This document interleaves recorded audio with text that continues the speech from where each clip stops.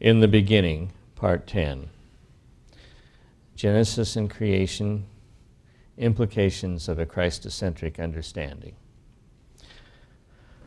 We've been studying the book In the Beginning, subtitled Science and Scripture Confirm Creation, written uh, by a number of different people, but edited by Bryan Ball, who uh, contributed to, to contributed uh, two chapters.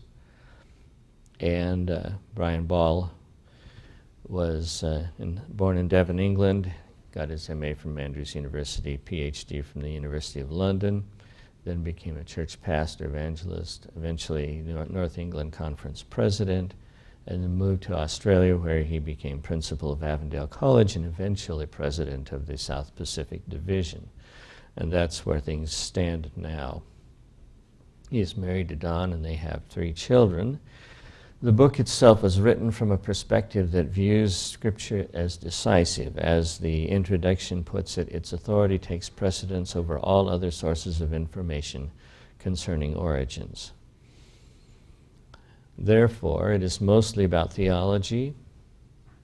It talks about evidence of her faithful transmission of the text, arguments against higher criticism, and for a view consonant with Jesus and the New Testament. And today we're going to talk about the uh, consonance with Jesus. It does include scientific chapters by Tim Standish, Grenville Kent, John Walton, James Gibson, and Ariel Roth. And we will be talking about um, Tim Standish's chapter tomorrow, or correction, next uh, week. It also deals with theistic evolution and evolutionary morality as the final two chapters. William Johnsson uh, got his BA in chemistry. I have been unable to find out exactly where. Um, he did attend Avondale Com uh, College afterwards. So he has a, he has a background in chemistry. Uh, I think he feels just enough to be dangerous. He got his THD from Vanderbilt University in 1979, and his dissertation was on the book of Hebrews. Uh, he taught at Andrews University from 1975 to 1980. Of interest is that he was president of the Adventist Society for Religious Studies in 1979, which I believe was their first year. After uh, the Adventist Society for Religious Studies was felt to be not conservative enough by a number of Adventists, who then formed the Adventist Theological Society. Um, so there is some hint that in Adventism he has been on the um, less conservative side. He was editor of the Adventist Review from 1982 to 2006 little over 20 years. And uh, my understanding, as far as I can tell, is that he's now retired. He is married to Noelene, and they have some children, but I haven't been able to track that down. Um, William Johnsson uh, surprised me as being in, in this book, um, but I was very pleased with the chapter. So I, will begin presenting what he has to say. Um, for what it's worth, all of the words that are up there are his. Um, the, most of the ellipses are mine. There's one where he quotes somebody else and puts some ellipses in that are his. Um, the current controversy over creation and evolution that is roiling many Bible believing churches cuts with particular sharpness among Seventh day Adventists. Our most distinctive practice, embedded in our name, the observance of the seventh day of the week as the Sabbath, is at stake in the debate. But even more is on the line, not just the Sabbath, but the Lord of the Sabbath, Jesus Christ. Our long-standing approach to the natural world forbids us from retreating into an obscurantist stance that refuses to face squarely the challenges pos posed by the scientific evidence. We hold that the scriptures are God's revelation to humanity, inspired by the Holy Spirit, but we also believe that nature is God's second book. Not as perfect as the Bible, but nonetheless important to teach us about God and His character. Throughout our history, Adventists have encouraged study of the natural world and have held in respect those who have given their lives to that investigation.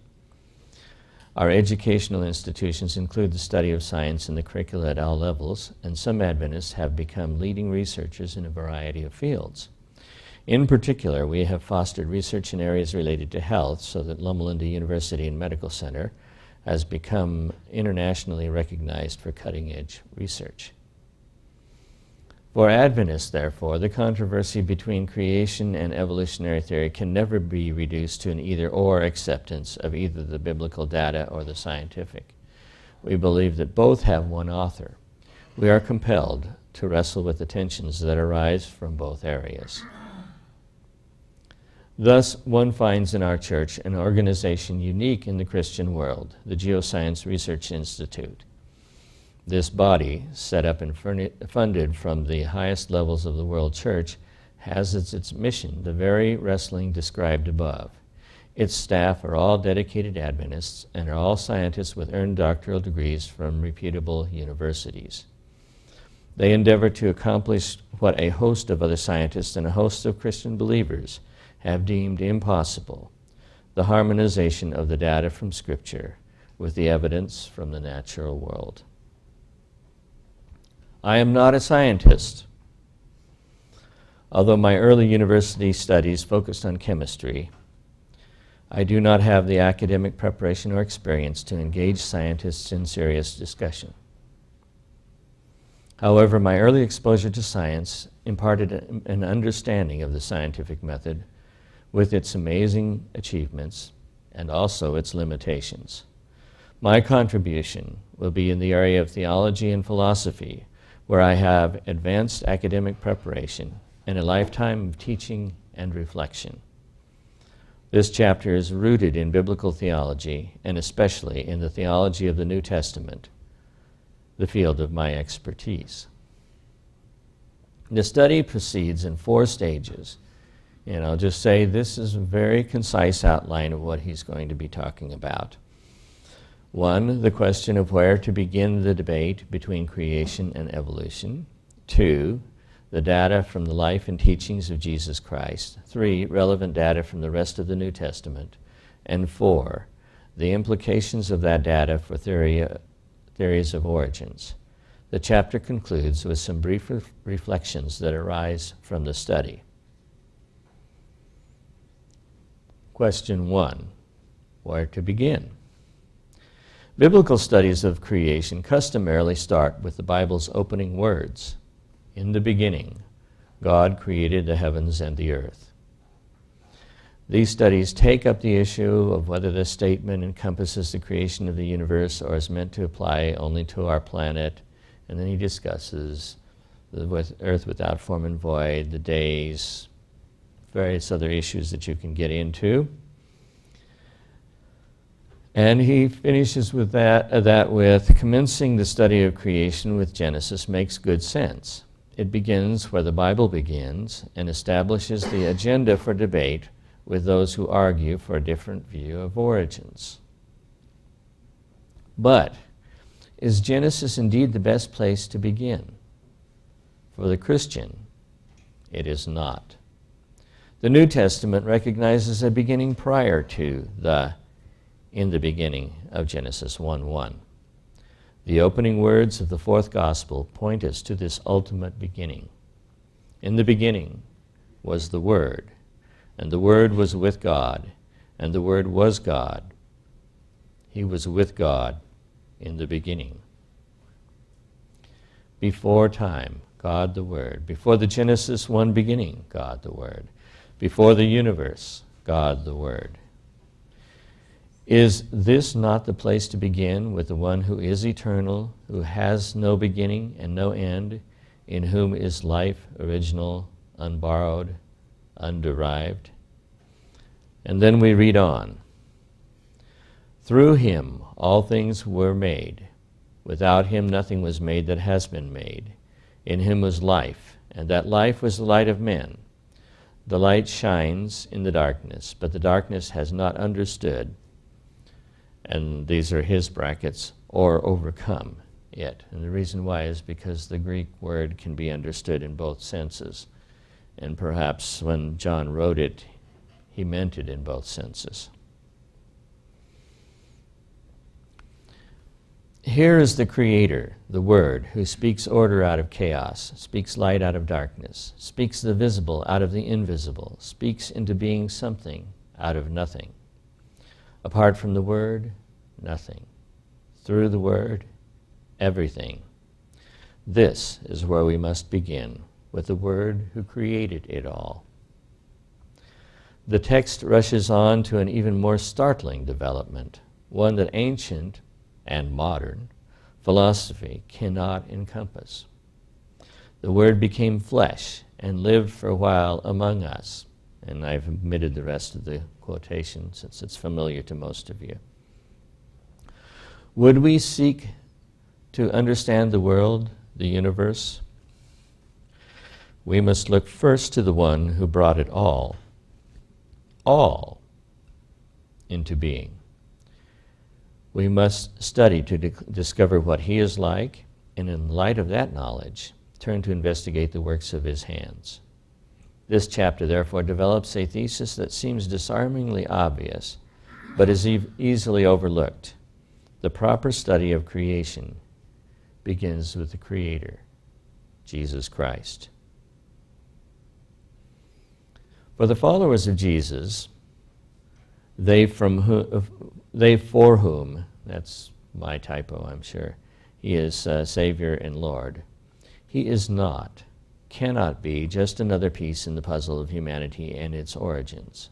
He is not, cannot be the Omega Man at the summit of the evolution of the race. That's a reference to Teilhard de Chardin, whom we'll see later. He is the arche, the origin of all. He is the first and the last. Uh, by the way, the arche is the Greek word from which we get archaeology, ancient things. He is the one from whom the entire universe came into being and to whom it will return to own him as King of kings and Lord of lords. Only in the light of Jesus Christ can we take up the controversy between creation and evolution. And in his light, the issues emerge with startling clarity the life and teachings of Jesus. The first and most obvious conclusion to be drawn from as the study of the Gospels is that Jesus presupposed the validity of the Genesis account of creation. When Pharisees came to test him by raising the question of divorce, he replied, Haven't you read that at the beginning the Creator made them male and female, and said, for this reason, a man will leave his father and mother and be united to his wife, and the two will become one flesh. Matthew 19, and it's also quoted in Mark. In his answer, Jesus alluded to the narrative of man's creation in Genesis 1:27 and quoted verbatim the creator's words concerning marriage in Genesis 2:24. I think that it's actually quoting 127 verbatim as well, and of course, in the beginning is a quote as well. Again, speaking to his disciples about signs of the end times, he stated that, quote, those days will be days of distress unequaled from the beginning, when God created the world, again, an allusion to Genesis 1 1, until now. On several other occasions, Jesus referred to the creation or beginning of the world, and the references are there. Jesus' view of the world was a positive one. His favorite term for God was Father, and he used it to indicate God's relationship not only to humans, but to the creation. Look at the birds of the air. This is, of course, from the Sermon on the Mount. They do not sow or reap or store away in barns and yet your heavenly Father feeds them. See how the lilies of the field grow. Those are, by the way, my ellipses. if that is how God clothes the grass of the field, which is here today and tomorrow is thrown into the fire, will he not much more clothe you, O you of little faith? In these words, Genesis go, uh, Jesus goes beyond the Genesis 1 account. There, at the end of the creation week, God pronounced everything very good. Here, God watches over his creation, lovingly cares for it in all its aspects, providing for its needs like a loving earthly parent with his or her child. Jesus was no ascetic, and he gives some examples, but all is not goodness and light in this world. There is a dark side. Jesus spent most of his time in a healing ministry. What happened to mar the original creation? Jesus did not reveal the answer. In one of his parables, however, he perhaps gave a clue. In the story of the weeds that grew up with the wheat, he said, An enemy did this.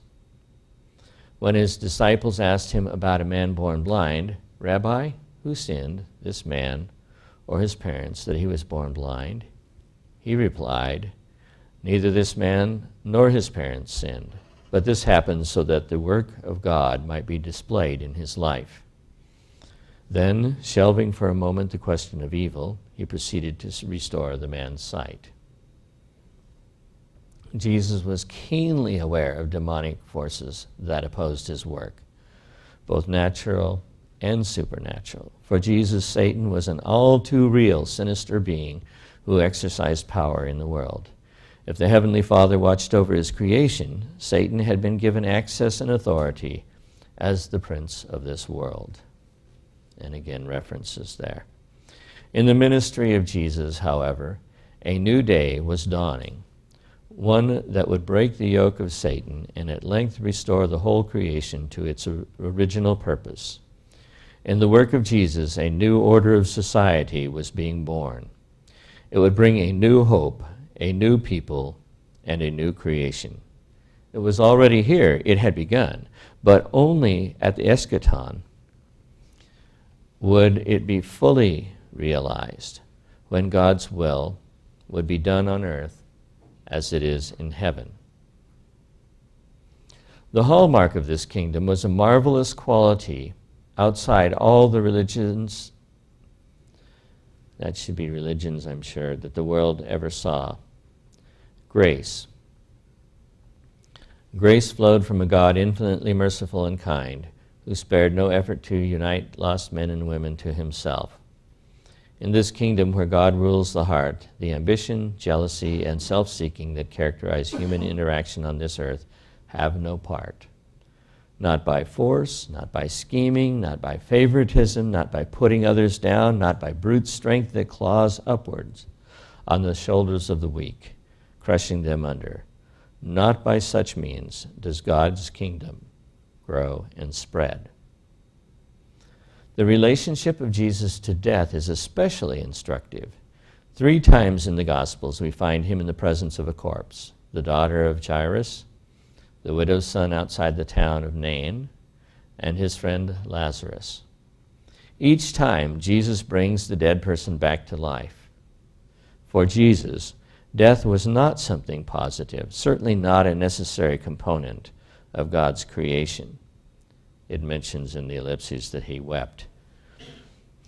Jesus broke up every funeral he attended. And in the incredible climax to Jesus' incredible life and ministry, he himself entered into the experience of death and broke it up.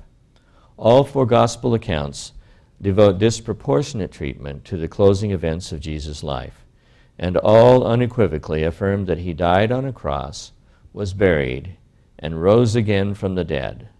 Far from these facts being viewed as embarrassing, a leader who was executed by the Romans they became a focal point of the new religion that broke upon the world with Jesus' resurrection. Death had been conquered. Thus, the life and teachings of Jesus are of the utmost importance to the question of origins. They not only inform our understanding of creation, but also of the great controversy between good and evil, Christ and Satan. In their light, we begin to grasp how God's original creative intentions have been undermined through the entrance of sin and death, and also how Christ's life and death counteract and reverse the satanic processes of evil and death. A Christological understanding of creation. Looking beyond the Gospels, we find throughout the New Testament creation accepted and proclaimed as the origin of the world and of humanity. Spelling out such creation references in full allows us to experience their cumulative effect. Turn from these worthless things to the living God, who made heaven and earth and the sea and everything in them. The God who made the world and everything in it is the Lord of heaven and earth. Worship him who made the heavens, the earth, the sea, and the springs of water. You created all things, and by your will they were created and have their being.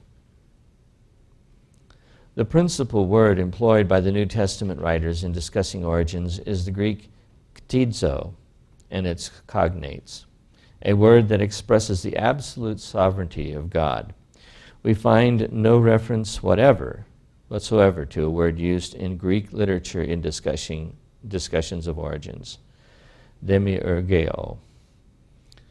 This latter word describes a shaping of the world from pre existing matter and was used, for example, in the Gnostic writings that attributed our world to a lesser deity, the demiurge,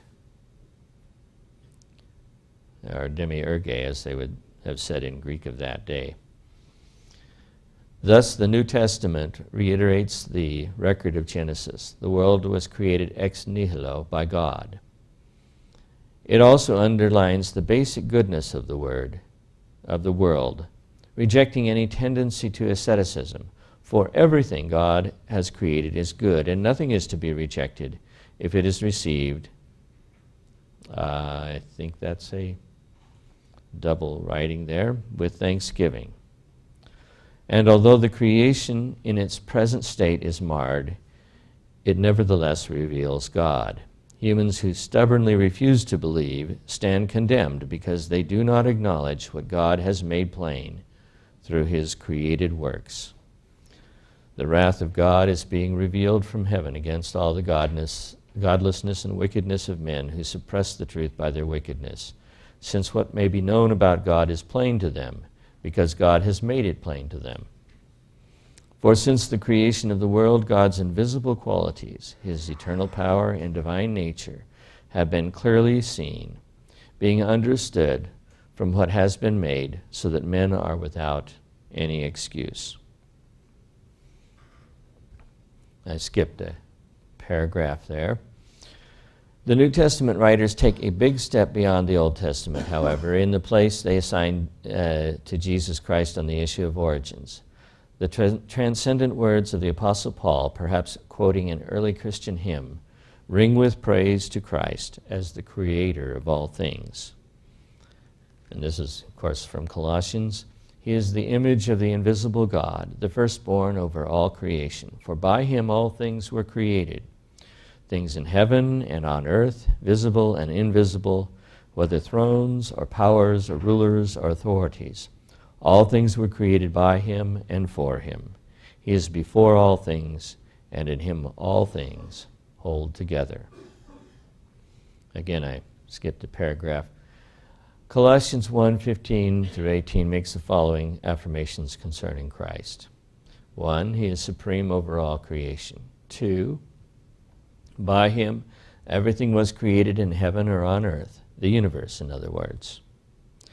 Three, Everything was created for him. He is the purpose of the creation. Four, he existed before all. He is the first not only in authority, but in time. Five, all things hold together in him. Six, he is the arche, the beginning. For the person who believes in Jesus Christ, these ringing affirmations must be determinative in shaping their view of the origin of this world and life on it. Other New Testament passages reiterate these affirmations in part or in whole, and um, then he quotes uh, three passages in particular that do that.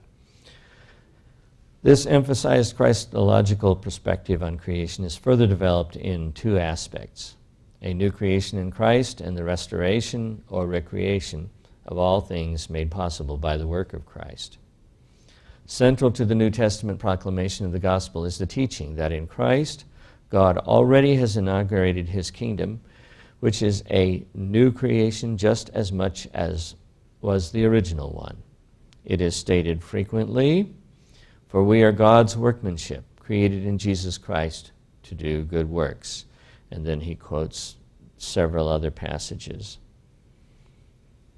It is surely impossible to miss this consistent, repeated New Testament emphasis on the new creation in Christ. While new, this new creation made manifest in the transformed lives of believers and in the church, which is Christ's body, where barriers of race, gender, and status have been abolished, is a present reality. It is not realized in its fullness. The best is yet to be. The new creation is a promise and foretaste of the consummation, when there will be a new heaven and a new earth free from sorrow, pain, evil, and death. Then all creatures in heaven and on earth will unite in praising the Creator. You are worthy, our Lord and God, to receive honor and glory and honor and power, for you created all things, and by your will they were created and have their being, which is, of course, Revelation 4. The whole creation, now marred and blighted, will, as Paul affirmed, be restored to its original purpose. And then he quotes Romans 8 19 through 22. Thus, does the New Testament place Jesus Christ at the heart of its understanding of origins. He is the arche, the beginning, and he is the amen. He is the new man, foreshadowed by Adam.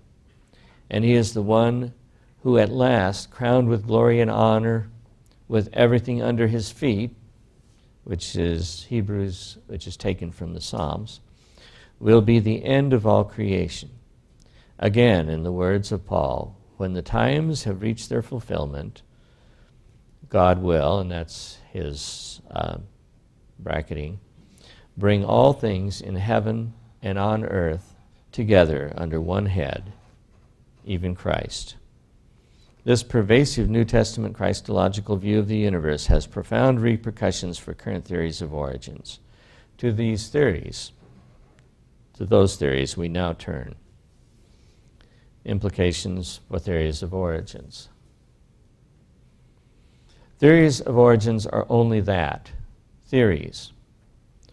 While all pre present various lines of argument, all, because of the nature of the subject, lack final proof. All attempt to move back in time from the is to the was, especially the first was. The various theories of origins current today may be grouped into three broad categories naturalism, supernaturalism, and modified naturalism. How does each fare in light of the Christological perspectives that per permeates the New Testament view of beginnings.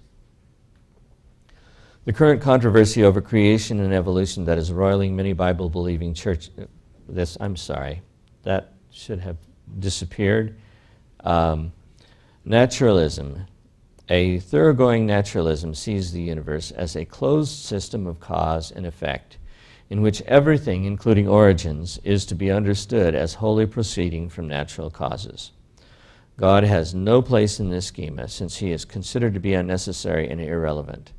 One of the clearest statements of thoroughgoing naturalism and its implications was made by the atheistic philosopher mathematician Bertrand Russell more than a century ago.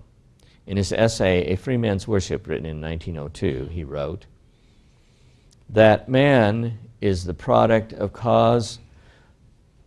Uh, I think that should be causes, and that's probably my typo which have no provision, uh, no prevision of the end they were achieving. That his origin, his growth, his hopes and fears, his loves and his beliefs are but the outcome of accidental collocation of atoms.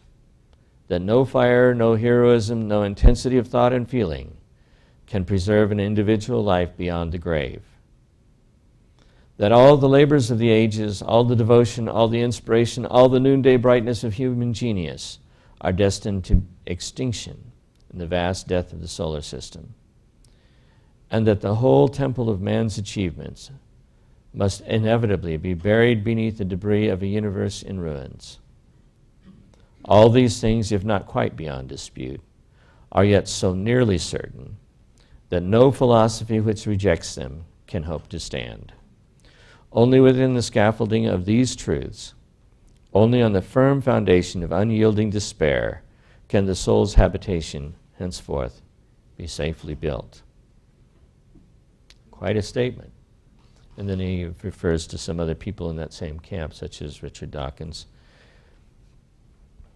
How then did Western thought, heavily influenced by the scriptures and the Protestant Reformation, undergo such radical change? The answer is complex, deserving of a study in its own right. Here we will note just three key factors the development of the scientific method, the impact of critical scholarship on faith in the Bible, and the influence of ideas from philosophy and psychology. And I think he pretty well nailed it on that. The scientific method, students of nature discover that the world could be investigated on its own terms with reference to the uh, without reference to the Bible or the supernatural. And I think that's my typo. Nature operated according to fixed norms or laws. Of itself, the scientific method was neutral towards the supernatural. It neither affirms nor denies it, but it does not require the supernatural as a factor in its investigations, and thereby opens the door to those who, for whatever reason, wish to deny it. Another offspring of the Enlightenment was the rise of critical study of the Bible. This development may be viewed as an extension of the scientific method to the field of sacred literature. Considerations of supernatural intervention are bracketed off as being outside the purview of this apply, uh, applied scientific method, which means, of course, if they're really there, you'll never see them. Belief in miracles, in the virgin birth, in the resurrection, all perforce were now excluded, and with them, of course, the creation story. The inexorable train of critical analysis reached to the very founder of Christianity, to Jesus himself. And then he comments a little later that the Jesus Seminar continues this line of approach. Yet another attack on Christianity arose as other scholars scrutinized the nature of religion itself. Ludwig Andreas Feuerbach, Feuerbach, sorry, my German is not very good, argued that the uh, concept of God is a projection of our own consciousness. Theology is really anthropology. Sigmund Freud um, set forth religion as an illusion, a wish fulfillment that people very much wanted to be true. The work of uh, Feuerbach and Freud, along with others, thus accounted for religion on wholly natural terms, in the same way that Darwin explained the world and its origins on wholly natural terms. Uh, just a parenthetical comment, I don't think that Darwin is the main culprit. I think the work was done before him. In spite of the widespread influence of a naturalistic understanding of the world, that view faces two major flaws in its schema it ultimately cannot account either for the existence of the universe or for the overwhelming evidence of its design. And then he talks about the Big Bang, the incredible complexity of the universe, in quotes Philip Johnson briefly. Uh, actually, I think he cites him rather than quotes him. Supernaturalism the supernatural view of origins pos posits that there is a God and that he is the source of all. The supernatural view of origins is not opposed to science, nor does it disparage science. God reveals himself through his created works as well as through the scriptures. Since the book of nature and the book of Revelation bear the impress of the same mastermind, they cannot be speak in harmony. And he goes ahead and finishes a quote from the book Education. And uh, again, I, this is the Reader's Digest version. We're cutting a lot in order to give you a chance to talk instead of me reading an hour plus. The bottom line is this the believer knows the Creator and has been recreated through Him. Contrast this attitude with that of the non believer, whose perspective does not extend to include the supernatural. For him, nature is a struggle in which the strong survives and the weak, whether animal or human, perish. Nature is red in tooth and claw, as the writer Jack London, among others, vividly describes in his books The Call of the Wild and White Fang. Uh, these con contrasting attitudes toward nature cannot be reconciled. Thus, the question of origins raises issues of heavy significance that reach far beyond the Sabbath. Ultimately, the trustworthiness of the Bible as divine re revelation is at stake, and beyond that, God Himself and Jesus as our Creator, Savior, and Lord. Modified naturalism. The biblical picture of the origin of origins is clear and consistent throughout creation by divine fiat. And by the way, for those of you who are wondering, that word actually comes from the Latin fiat, let there be, as in let there be light.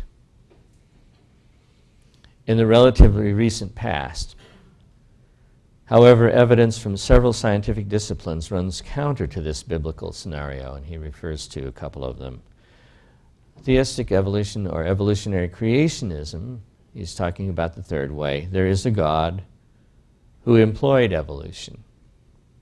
Here we will simply note how the case is made by Pierre de, uh, Teilhard de Chardin, C.S. Lewis, and Francis S. Collins. Chardin was a French philosopher and Jesuit priest who trained as a paleontologist. He took part in the discovery of the so-called Peking Man. And I might add, I think he's also involved in the Piltdown Man somehow. And he says, among other things, and uh, these are my ellipses. He, I think he has one or two, but I might include his. Um, is evolution a theory, a system, or a hypothesis? It is much more. It is a general condition to which all theories, all hypotheses, all systems must bow, and which they must satisfy henceforth if they are to be thinkable and true shades of nothing in biology makes sense except for the theory of evolution. Man is the arrow pointing the way to the final unification of the world in terms of life. And then he talks about C.S. Lewis. Um, and he quotes from the problem of pain. For long centuries, God had perfected the animal from which it was to become the vehicle of humanity and the image of himself. He gave it hands whose thumbs could be applied to each of the fingers, and jaws and teeth and throat capable of articulation, and a brain sufficient to execute all the material motions whereby rational thought is incarnated. Then, in the fullness of time, God caused to descend on this organism, both on its psychology and physiology, a new kind of consciousness which could say, I and me, which could look upon itself as an object, which knew God, which could make judgments of truth, beauty, and goodness, and which was so far above time that it could perceive time flowing past. We do not know how many of these creatures God made or how long they continued in the paradisal state, but sooner or later they fell. Someone or something whispered that they could become gods. And then Francis Collins in The Language of God. Collins' argument contains a striking inconsistency. On the one hand, his discussion of cosmology and the origin of the universe powerfully points to a degree of fine tuning for which a designer is the most logical explanation. On the other hand, in treating human evolution, he dismisses all attempts to factor in the divine either as an overarching principle or at specific moments of intervention in the development of new species. And nevertheless, according to Collins, God acted at a particular point in time, some 14 billion years after the origin of the universe, to invest the human like creatures with an immortal soul that evolution could not instill. Arguing from humanity's sense of morality, Collins contends, humans are also unique in ways that defy evolutionary explanation and point to our spiritual nature. These three influential thinkers, how well do their views stand up when exposed to the litmus test of biblical Christianity? In my judgment, they are found wanting on at least seven counts. One, Scripture talks about the Genesis account. In the, in the New Testament, God is identified with Jesus Christ. Um, two, the character of Christ talks about a caring, loving, merciful God, and the contrast to that with evolutionary theory. Three, sin and evil. Four, death. Five, Adam as a real person. Six, the work of Christ, which depends on these other things. And seven, that particularly in the case of uh, C.S. Lewis and um, uh, uh, Francis Collins, he doesn't pay that much attention to Teilhard de Chardin, probably because nobody else does either anymore. Um, they require the body to have come up one way and the soul to have become implanted on it in a manner that is not really biblical. And uh, then he gives some concluding reflections. The Christocentric approach to the issue of origins moves, like science, from the known to the unknown. Like science, its data can be replicated. The follower of Jesus Christ knows him as Savior, Lord, and Creator, Anyone who chooses may also gain that experiential knowledge. The believer knows Jesus as creator from two sources the testimony of Scripture and the testimony of the Spirit in the heart. Anyone who believes in the Son of God has this testimony in his heart. The question of origins boils down to either naturalism or supernaturalism. It is common today to attribute belief in the supernatural, miracles, divine guidance and intervention, and prayer that changes the course of events to a pre scientific mode of thinking. But to accept the supernatural is by no means outmoded or pre scientific. The supernatural envelops the natural, and those who are open may discern its manifestations. Evidence for the supernatural arises from two sources the believer's experience of God and happenings for which no natural explanation can be adduced. The person who believes in Jesus Christ, for whom he is Lord and Savior, know him as the risen one who has brought peace, deliverance, and joy. And he or she is not surprised to read accounts like that of Brother Yun in China, for whom prison doors open and the prayers of fellow believers bring about seemingly impossible circumstances, uh, occurrences. For Brother Yun and other Christians in China, the stories of the book of Acts do not belong to an age long gone. They live again and are repeated in everyday experience.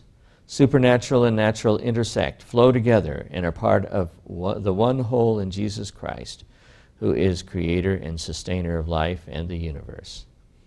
In the light of Christ as creator, evolution, whether understood as a wholly naturalistic or as a naturalism modified by divine guidance or intervention is inadmissible because it runs counter to the life and teachings of Jesus. Whatever theory of origins one assumes, problems remain. The supernatural approach derived from the Bible is not placed at a disadvantage beside other theories. Indeed, because of its certainty stemming from knowing the Creator, it may have advantages. Nevertheless, it must face squarely data from the natural world that puzzles and troubles. Our knowledge of the distant past, that is, of prehistory, is very limited. The first 11 chapters of Genesis provide but a sketch, an outline that leaves tantalizing issues unanswered. Among them are the following the origin and demise of the dinosaurs and other creatures that seem monstrous to us, existence without death, the power given to Satan as prince of this world to intervene and manipulate natural processes and the extent to which he is engaged in such activities, and the effects of a worldwide flood on geology and paleontology. Reflections on origins inevitably is accompanied by an existential dimension. One cannot take it up without facing the biggest question of human existence Who am I? Where did I come from? Where am I headed? Is there meaning to my life? At this level, the answers that result from evolutionary theory fall woefully short. It is not surprising, therefore, that after a century of teaching evolution in the public schools of the United States, the majority of people have not embraced the theory. In their innermost beings, they sense its inadequacy. I sense its inadequacy in those aspects that make me most human, in worship, in morality, in appreciation of the beautiful, I know within myself that I am a child of Christ the Creator, made in His image. Now, I, I, think that's a beautiful presentation. I agree with Dr. Johnsson. Remember the book, The Defense of the Scriptural Story of Genesis, and there are several theological chapters. And then when it gets to there, we're talking about the New Testament last week and uh, specifically Jesus this week. And then we'll get into scientific arguments, ethics, and theistic evolutions. Uh, uh, and that's where this chapter fits in the book's uh, general approach. I just wish we had more time to read the whole chapter. It's very good. In this survey, I, I wish that somebody had made a major presentation, as opposed to mentioning in passing several places, on the relationship of love to the survival of the fittest. Um, that probably doesn't fall on uh, Bill Johnsson. I was very pleased with the tone of the chapter, acknowledging uh, scientific problems uh, while not being overawed by them. Um, the opposition of naturalism with supernaturalism, I think, is very well outlined. Uh, and by the way, this is why intelligent design is so important. Because if intelligent design is really the answer for some things, then it puts an intelligence that somewhere along the line eventually crosses the boundary of naturalism and that's why it's fought tooth and claw by the scientific establishment, or at least the parts that are doing the fighting. Because the truth of the matter is, they know how critical this is too. But that's my take, and now it's time for yours.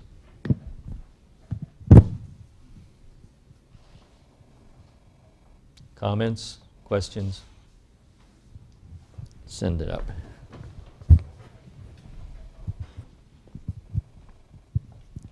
I give you charge of this one. This is this is a bit of a smart aleck reply, but one of those quotes was, I think it was from Francis Collins, um, talking about that at the end of evolution, somehow you have the instilling of the immortal soul into this animal, or maybe that was C.S. Lewis. I don't know.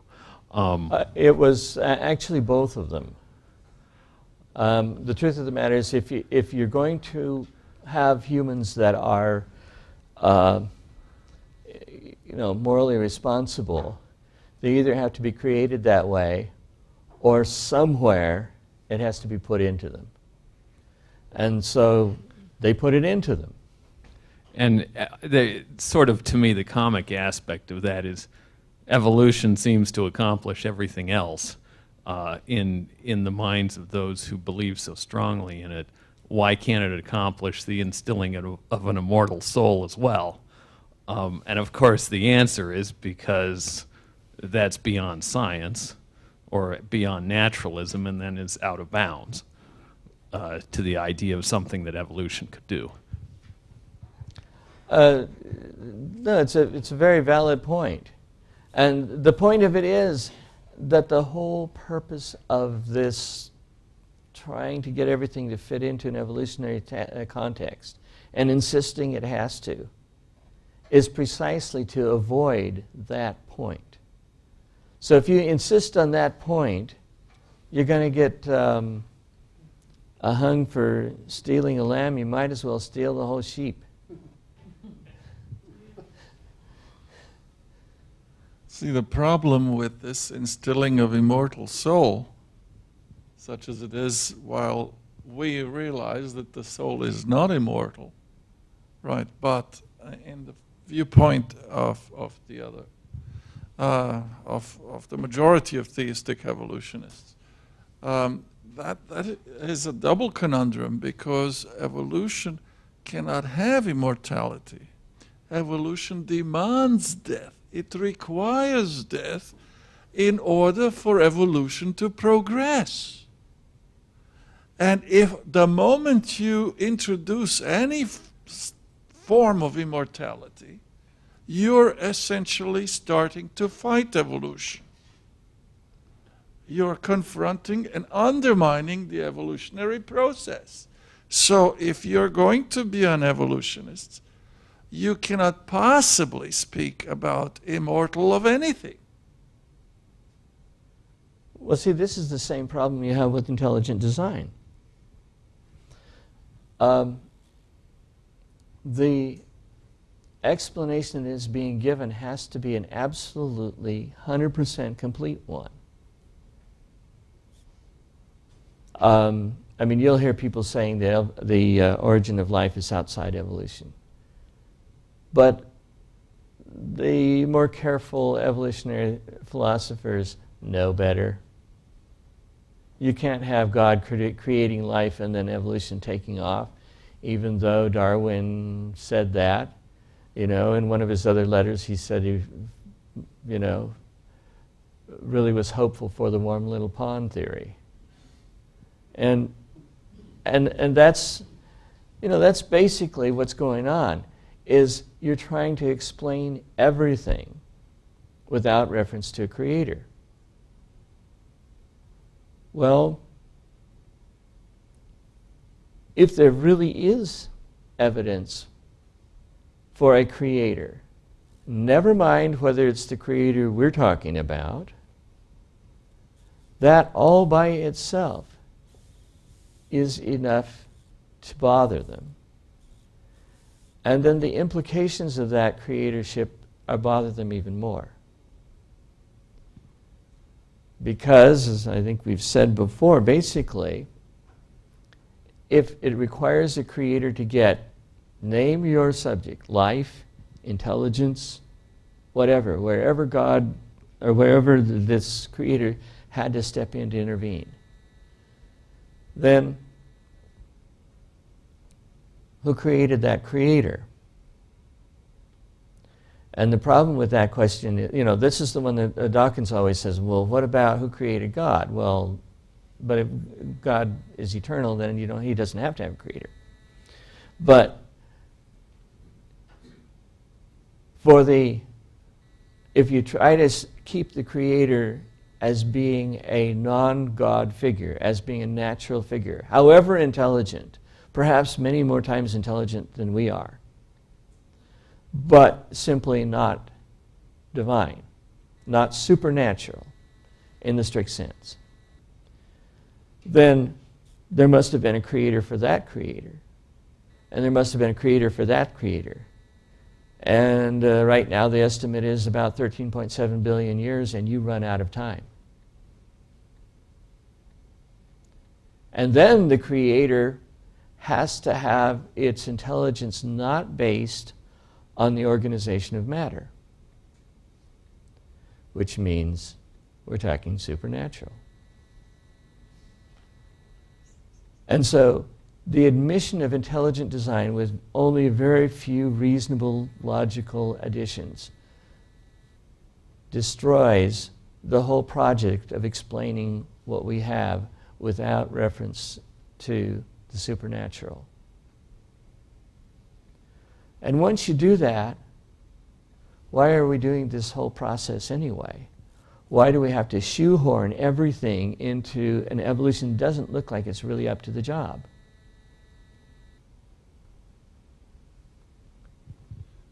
In other words, let's put it this way. Supposing you come upon a scene, there's a person lying there dead. Okay? And the person has um, a knife in his back. And uh, in further investigation, uh, you find various other clues that could or could not point to this being an accident. The guy backed into a knife that was sticking out of a uh, cupboard somewhere, you know, whatever. You can argue, but then you find a note on the knife and it says, you know, something like, I wanted him dead. Well, you know, at, at that point, why are we discussing this? You know, just just admit that this is a murder and and and then move on from there and stop trying all of the non-murder explanations. And that's really what's going on. And I think that I'm encouraged because at one point I would not I would have had my doubts for um, how William Johnsson would pro- approach this. And he seems to have come out, you know, in, in, this thing, I wouldn't say come out swinging, but certainly come out um, uh, very firmly with the idea that if you're going to be a true Christian, you can't go there. Um, so I'm, um, I'm very pleased with the chapter, and I think it makes an important point. We have a one back here.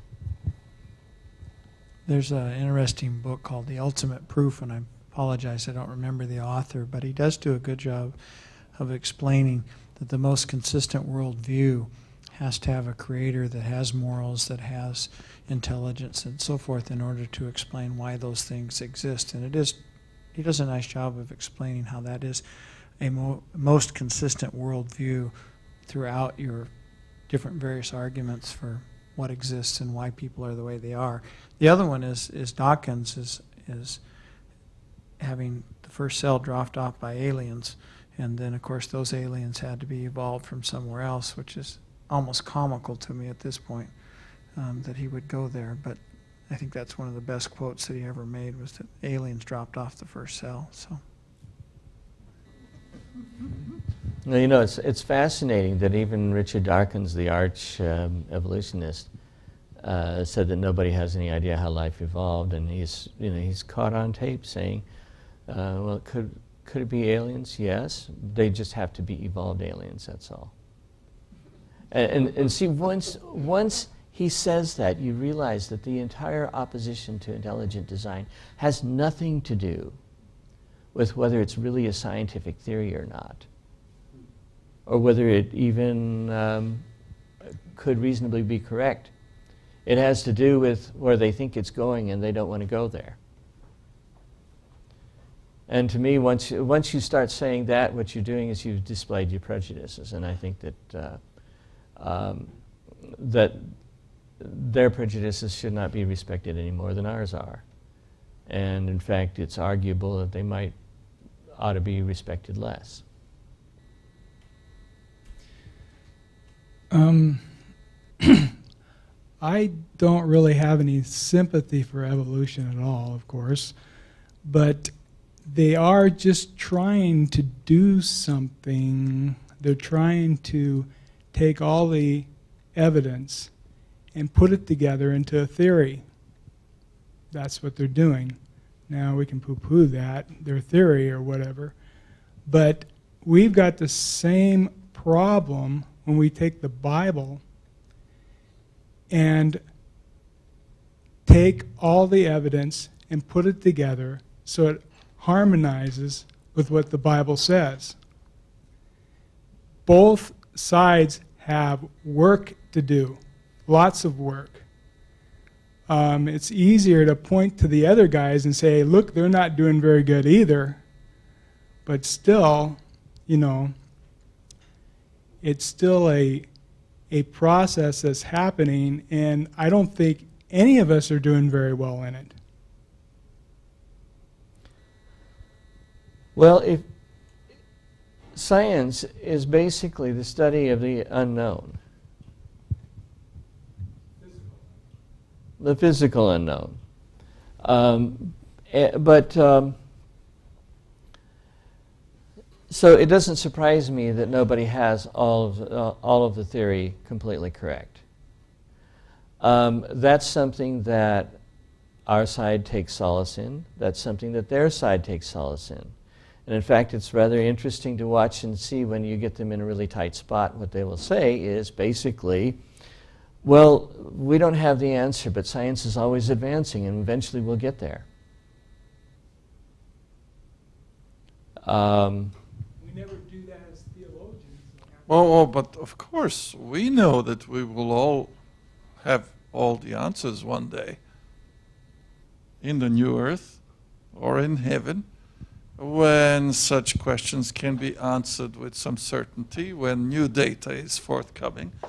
The, the difference is that, that science is basing, considering only the evidence of the experimental uh, data.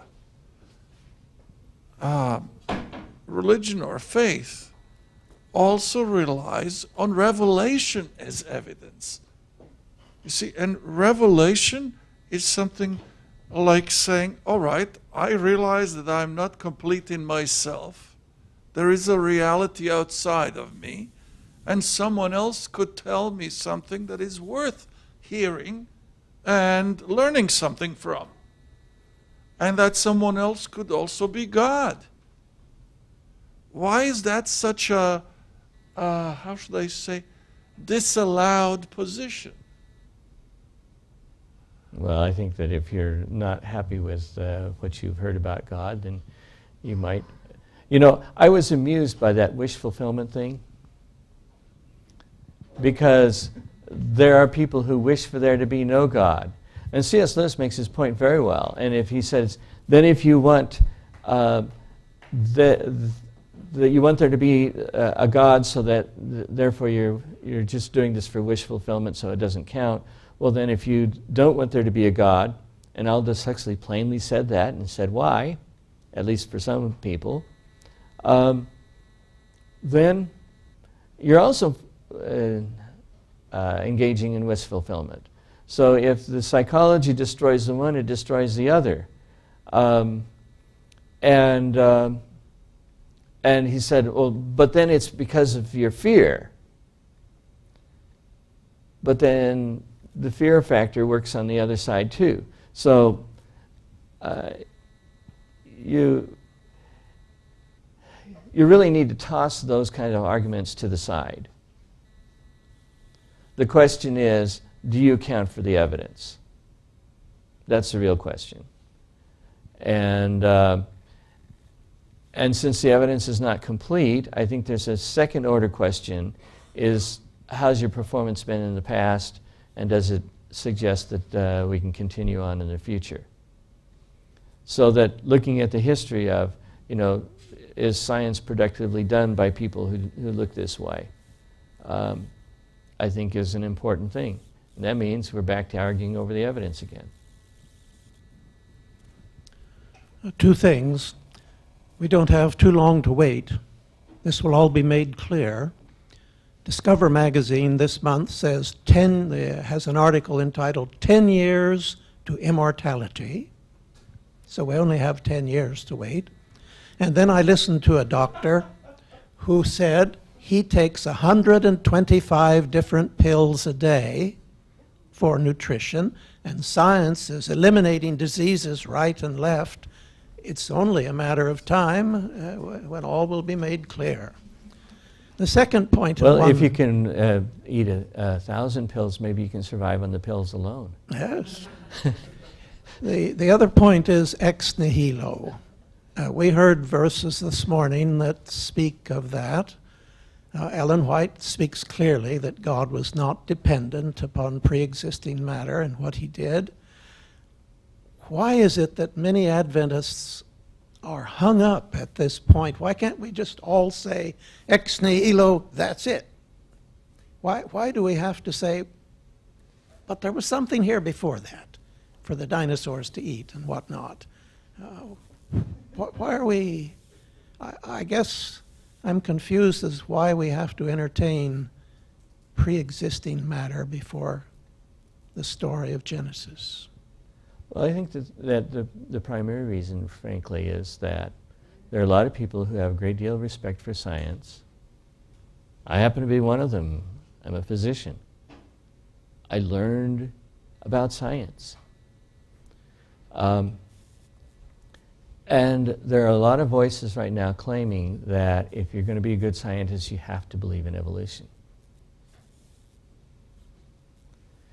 And so there is this, if you can put it that way, this 800 pound gorilla that's on their back. And as long as you pretend it's not there, you're not really dealing with the full issue. I think that's really what's going on.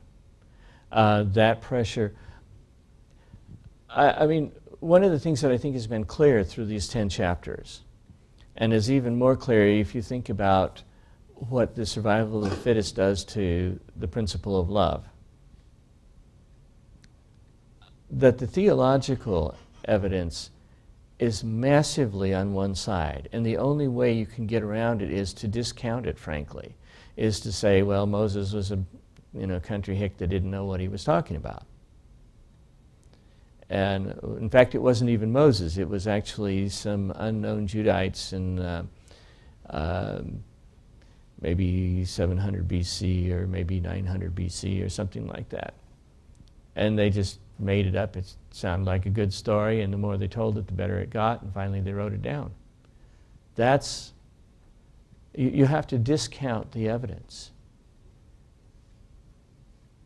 And if you don't discount the evidence, the Bible is crystal clear. The problem is that people respect science and they're trying to accommodate this thing to science. And that's what's really going on.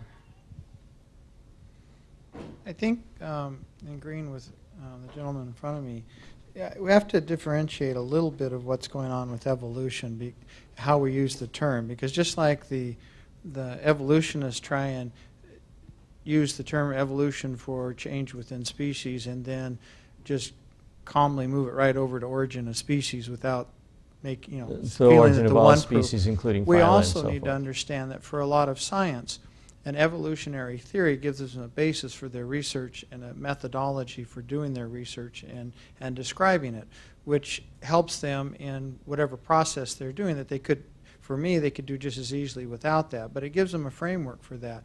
That's a little bit different in them looking at some natural processes that occur and trying to look at it in an evolutionary way from going then to which is change in species over time, going flipping over to the origin of species. And I, we have to be careful because I think some of what you're talking about with science dealing with it, they're, they're having a framework to work in their field that allows them to function, if they don't believe in God, allows them to function and do research, which has its own legitimacy for what they're doing.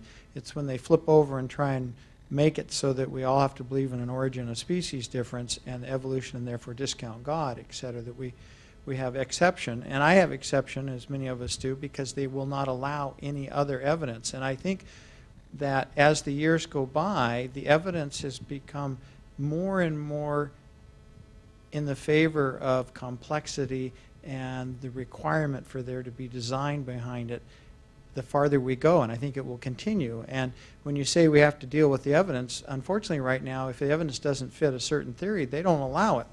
And that I disagree with. That's not the freedom of science. It's, it's no matter where you are on global warming, there's certainly been manipulation of the data in order to fit one theory or another. And one of my objections is with the evolutionary push of those that want an origin of species and eliminate the supernaturals, they will not allow things to be published. They will not allow people to present things that disagree with that theory.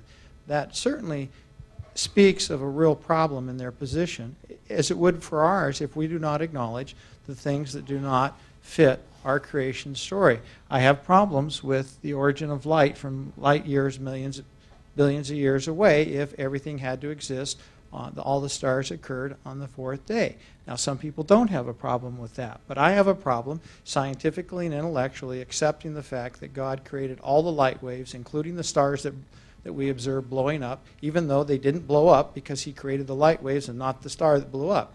That's a problem for me, and it is. You mean like uh, supernovae that we right. see now? So, for someone like me, it is more comfortable to say, to look at the text and say, I'm not sure the text actually demands that everything in existence came into existence on the fourth day, except what did it mean it was here without form and void? Something was here without form and void. So I think those intellectual, honest questions, while not having to deny your faith, are reasonable to have. And I think that's a lot of the questions that you mentioned, that we have to be honest about the ones that we can't answer. Well, and in that particular case, the Bible may not actually, uh, in, a, in a close reading, uh, specifically speak to that, and, and some hints suggest that uh, there may be more time than, uh, uh than one uh,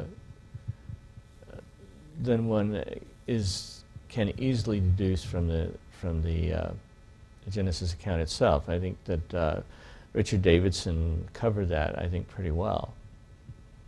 Uh, and I agree. I think we have to be really careful about making our th theories too specific uh, in areas where the Bible really is silent or perhaps even suggests that, uh, that it wasn't quite as simple as uh, ev everything in the entire universe 6,000 years ago. I wouldn't argue against pre-existence because we know there were supposedly other beings in existence, other worlds before the creation of the earth.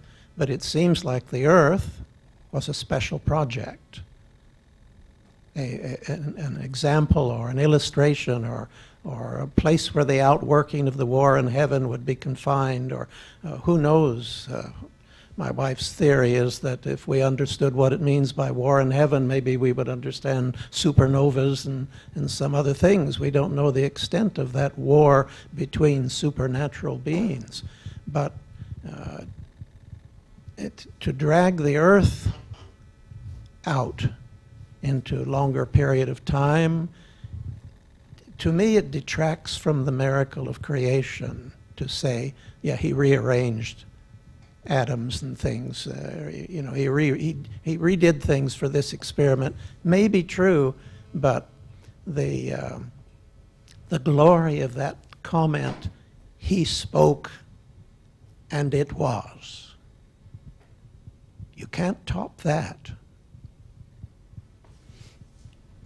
Well, I think that um, that the same thing is true of the uh, of trying to make the light being diffused from the sun, and then later on you can see the sun. And it's a it's an adequate theory, but it does kind of take out the uh, the whole theological point that uh, God don't need no stinking sun, if I can put it that way. Um, and so uh, I'm, I'm at the point now where I favor the theological over the, um, over the mechanistic approach.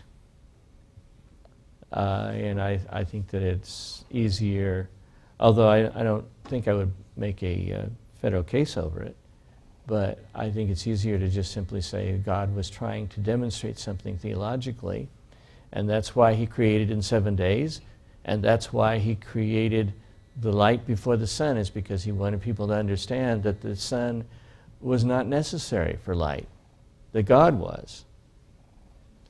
And if you do that and then you put the sun really there and we just couldn't see it very well, what you do is you, you completely undermine the theological point.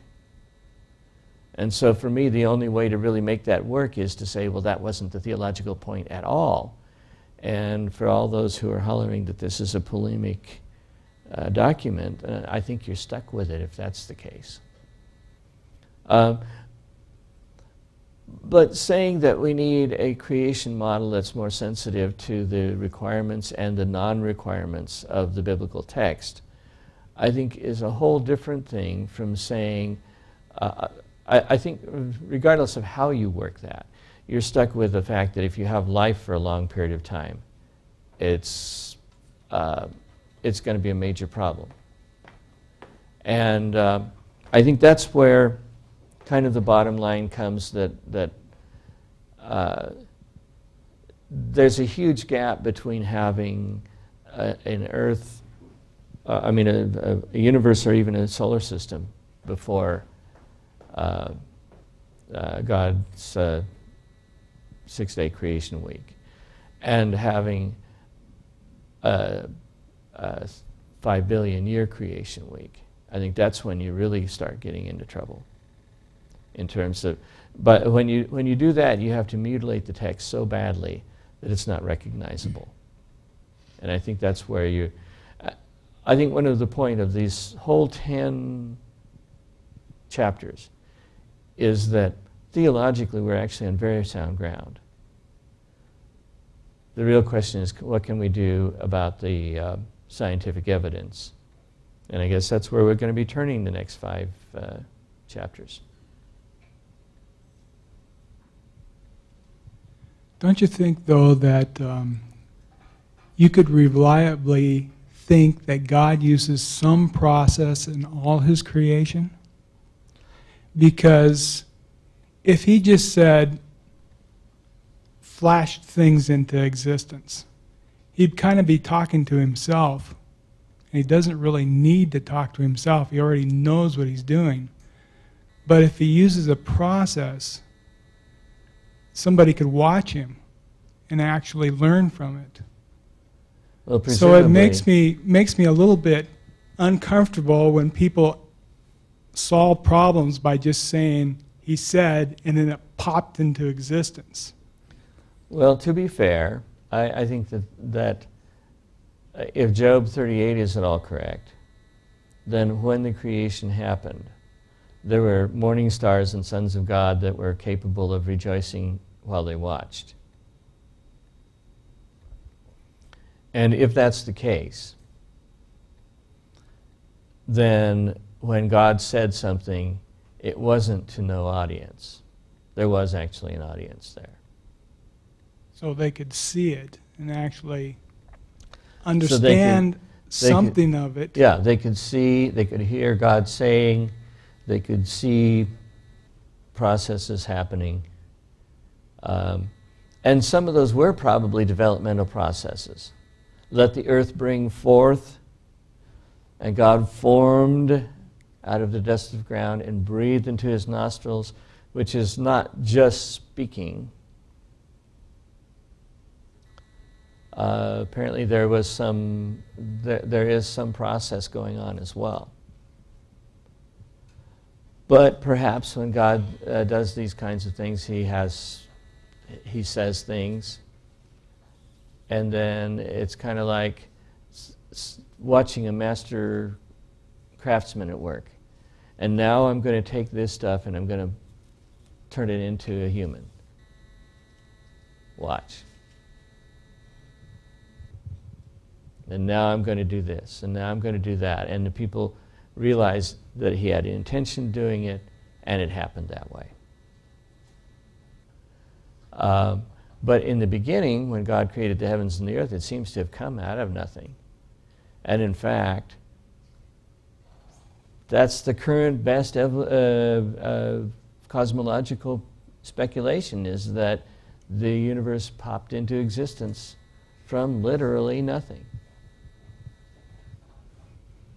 In this chapter, I think the point that was clarified for me was the one about uh, dualism the soul and the body being two separate things. I puzzled over how the Pope could be so supportive of evolution, how Billy Graham could be so supportive of evolution, and his comment that at some point in the evolutionary process, God gave a person a soul. Well, if you think that a soul is a separate thing, then God can do that. If you think the soul is part of who you are, then it doesn't make any sense at all. Well, that's right. And man became a living soul, so we are all living souls. And our bodies are part of that. Um, and that's one of the problems that I have with evolution trying to create people is it seems to reduce us to noth- nothing but um, uh, nothing but uh, electrical currents in the brain and uh, chemical gradients. One of the issues I have with uh, with uh, theistic evolution uh, that I don't think you can get around is that it destroys Christology, because you don't you- you cannot have death and dying going on, and then uh, was it all of a sudden we now have a soul, and now all of a sudden we're judged by what we do, and so if we sin, now we have a reason for a redeemer. Well, not Yep. only that, uh, so apparently when, when we got a soul, we were then immortal. Yeah.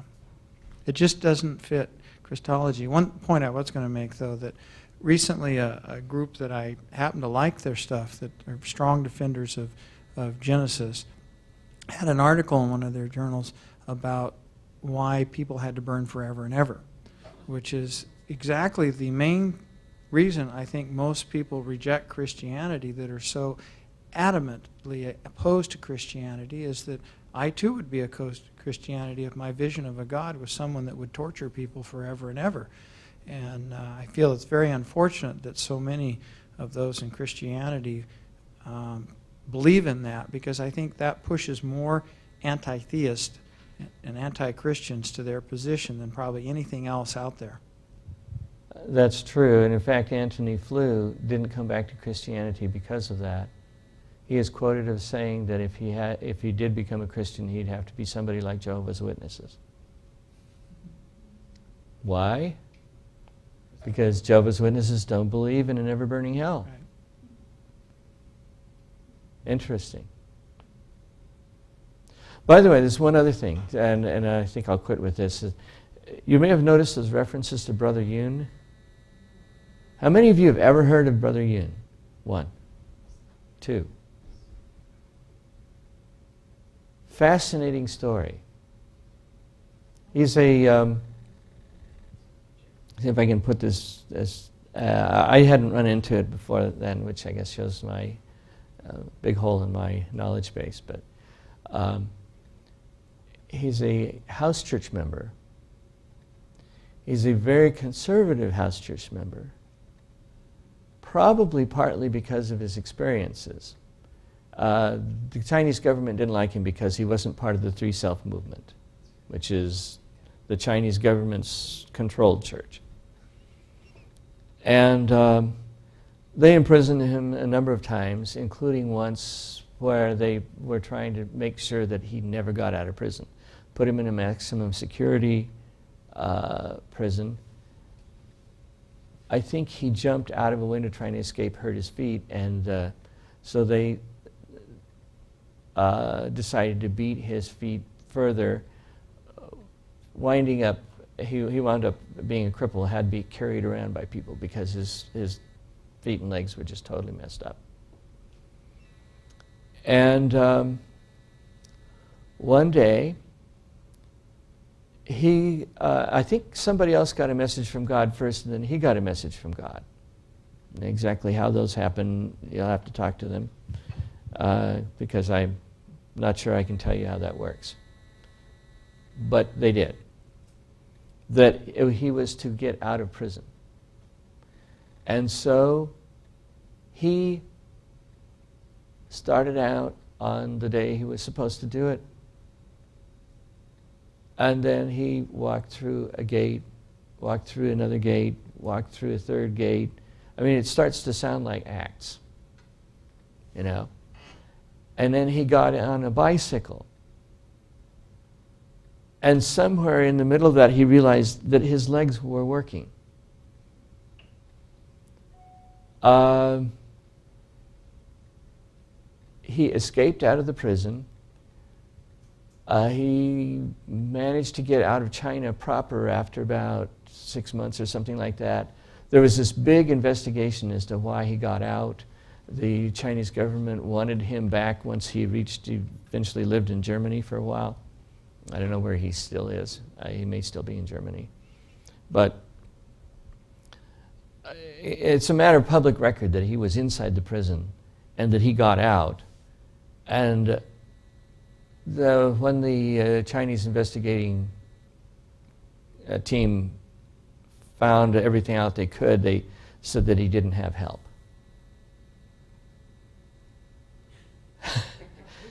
How you do that is not clear. So, you know, when people have experiences of that kind, or they know personally of people who've had experiences of that kind, the kinds of arguments that say we are going to explain the entire universe without regard to the supernatural kind of fall on deaf ears.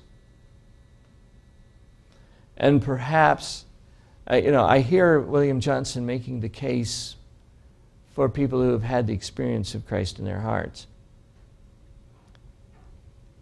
And I think he is also making the case that the age of miracles is not completely dead. And I suspect that atheism is, in fact, a diversion, that it is not the final deception. And that, in fact, most atheists will fold when presented by absolutely clear evidence that the entire project that they've been working on is invalid. Now, that won't mean that there won't be people trying to use long ages and theistic evolution to describe what's been going on. But it does suggest that pure atheism may have its days numbered. And I'll leave that, that thought with you. Uh, next week we will be uh, talking I think I just lost it. Well, it didn't die though. Um, next week we'll be talking about uh, uh Tim Standish's chapter for those of you who are reading along.